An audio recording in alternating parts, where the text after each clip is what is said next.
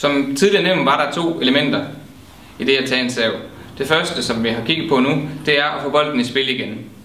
Det næste element på et højere niveau, det er at gøre det svært for sine modstandere.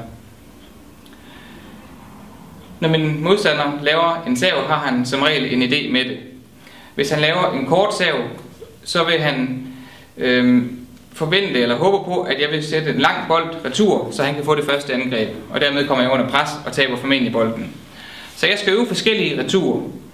En klassiker, det vil være at prøve at spille kort tilbage på korte server, for at holde modstanderen fra at komme i angreb. Han kan også blive overrasket over, at man gør det, og så skyder han langt, og så får jeg det næste angreb.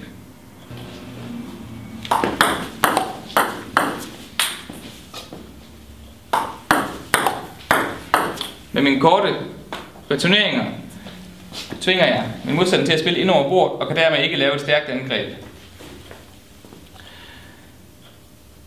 Næste scenarie kunne være, at min modstander har en stærk forhånd, og jeg dermed skal prøve at, at spille bolden et sted hen, hvor han ikke kan komme til at spille på, på sine styrker. Dermed har jeg en større chance for at vinde kampen. Hvis Peter, min modstander, øh, gerne vil spille forhånd og stiller sig helt ud i sit baghåndshjørne for at få et stort rum at spille forhånd på, så skal jeg prøve at finde øh, løsninger, så han ikke kan udføre sin plan.